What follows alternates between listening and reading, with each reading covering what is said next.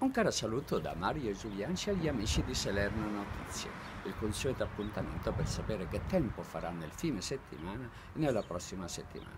Bene, venerdì e sabato sarà bel tempo, ma domenica, domenica 11 marzo, arriverà eh, una perturbazione atlantica già giunta sul nord Italia e porterà delle piogge per tutto il giorno sia su Salerno che sulla provincia. La medesima perturbazione insisterà con piogge fino alla giornata di martedì della prossima settimana.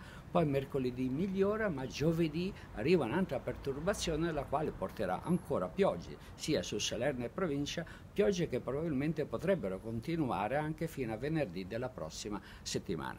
Per quanto riguarda le temperature, queste domenica saranno di gran lunga al di sopra della media, valori massimi intorno a 20-22 gradi, sia su Salerno e provincia, per l'arrivo dell'anticiclone nordafricano. Poi l'anticiclone se ne andrà, le temperature scenderanno, ma resteranno ancora valori massimi al di sopra della media con valori intorno ai 14-15 gradi. Termino qui, un caro saluto ancora da Mario Giuliacci.